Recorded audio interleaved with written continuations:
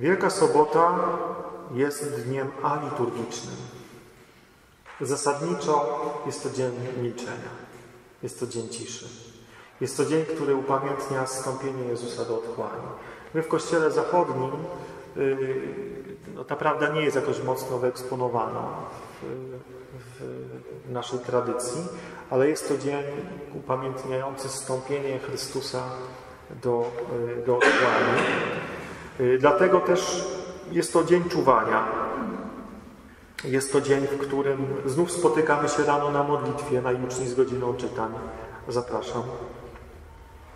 Tak jak w piątek rano jest sprawowana w kolorze czerwonym, tak w sobotę jest w kolorze fioletowym, czyli w kolorze oczekiwania. Już sobotę oczekujemy. Oczywiście nasze kościoły mniej więcej od godziny 10 wypełniają się tłumami ludzi z jajeczkiem i barankiem i zajączkiem.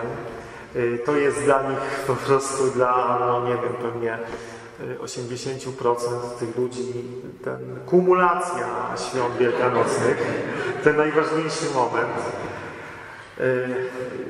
Skąd się to wzięło w ogóle? To taka tylko ciekawostka. Kiedyś w średniowieczu Wigilię Paschalną sprawowano rano.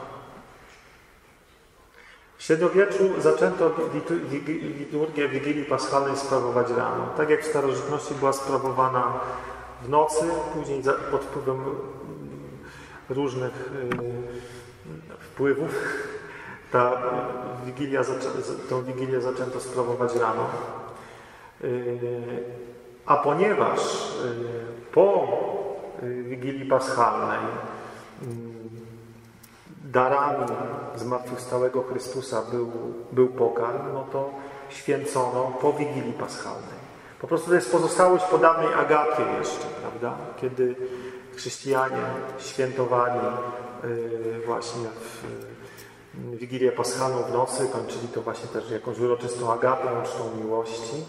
Yy, później w średniowieczu, kiedy sprawuje się Wigilię Paschalną rano, to po Wigilii Paschalnej święci się pokarmem. I kiedy w latach 50. dopiero XX wieku przeniesiono Wigilię Paschalną na czas po zmroku, po zapadnięciu zmroku,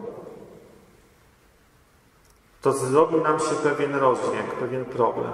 Bo ludzie z tymi koszyczkami cały czas rano przychodzą, a Wigilia Paschalna jest sprawowana wieczorem. No i mamy tutaj taki pewien, pewien problem z tym.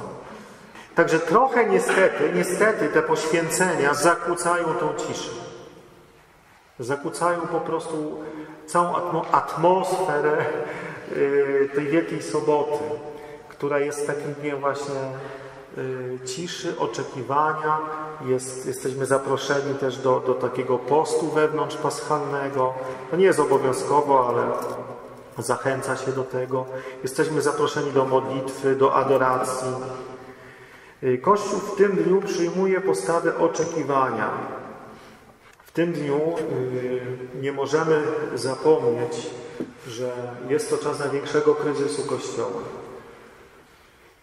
Judasz zdradził, Piotr zaparł, się Jezusa, wszyscy uczniowie Go opuścili, uciekli. I w obliczu krzyża nastąpiło załamanie wiary i nadziei. I tak naprawdę nadzieja w tym dniu biegnie w stronę Maryi, Matki Bożej. Mariano Magrassi y, w książce Maria nel Mistero della Chiesa y, zachęca w tym dniu do właśnie pielęgnowania tej pobożności maryjnej. Przeczytam Wam fragment tej książki. Sobota znajduje się pomiędzy piątkiem a niedzielą, między pamiątką męki a pamiątką zmartwychwstania. Maryja wypełnia tę przestrzeń, ponieważ w tym dniu, w Wielką Sobotę, cała wiara Kościoła zawarła się w niej. W swoje wielkie serce Matki przyjęła ona całe życie mistycznego ciała. Została bowiem pod krzyżem wezwana do bycia Jego duchową Matką. Kiedy wiara była przyćmiona we wszystkich, ona pierwsza wierna dusza, Sama podtrzymywała ogień, niewzruszona wśród zmierzchu wiary. Kościół jeszcze raz z nią się utożsamił. Jeszcze dosłownie niż Franciszek dźwigała tego dnia na swoich barkach cały gmach Kościoła. W Maryi zawarła się cała wiara Kościoła. Zachowała wiarę. Kościół zachował wiarę tę. I dzisiaj też e, myślę, że dla nas, szczególnie w e, czasach wątpienia, wątpliwości, mamy na kogo się powołać. Gdy nawet Ty zwątpisz, ja zwątpię, to Maryja tą wiarę Twoją, moją zachowuje, zachowała w największym kryzysie wiary. Jak Kościół przeżywa wielkie kryzysy, kryzysy wiary, to wiara znów jest zachowana w Maryi, w świętych. Bo Kościół to nie tylko my tutaj.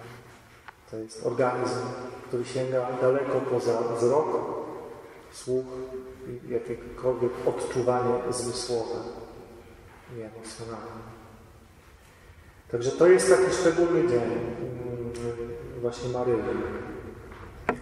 która tą wiarę zachowała.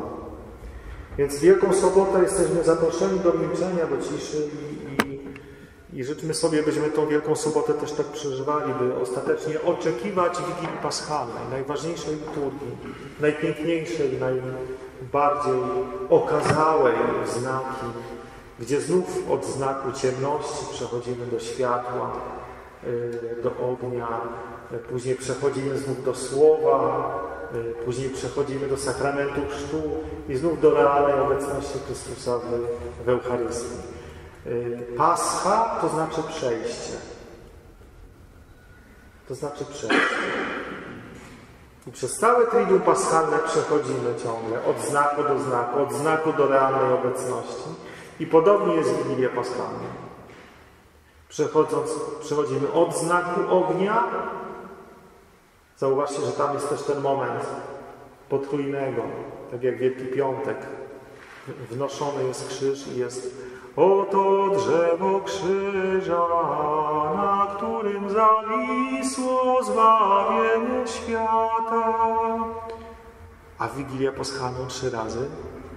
Światło Chrystusa, Bogu niech będą dzięki. Później schola może tam śpiewać właśnie Radosna światłości prawdziwa je. To jest też fragment e, Fos Hilaron, takiego hymnu, który e, sięga prawdopodobnie III wieku. E, radosna światłości, pochwala, wielbimy, wielbimy właśnie światło. I, te, i, I znów widzicie tu właśnie ten paschał, to trzykrotne y, wezwanie, światło Chrystusa nawiązuje do tego trzykrotnego oto drzewo krzyża, na którym zawisło zbawienie świata. Ostatecznie ten paschał jest też tym słupem ognia, który prowadził Izraelitów z Egiptu i nas wprowadza do kościoła, do świątyni. Jak będziecie na Wigilii Paschalnej, to wiem, że warto sobie zajmować miejsce w kościele oczywiście, ale warto wyjść na zewnątrz, czyli na pole yy, i tam przeżyć całą liturgię ognia, żeby doświadczyć też tej energii, jaka bije z ogniska. To jest właśnie energia Chrystusa zmartwychwstałego, który tym ciepłem, bezpieczeństwem dzieli się z człowiekiem i prowadzi go znów od znaku do realnej obecności w Słowie, tajemnicy Kościoła w Eucharystii.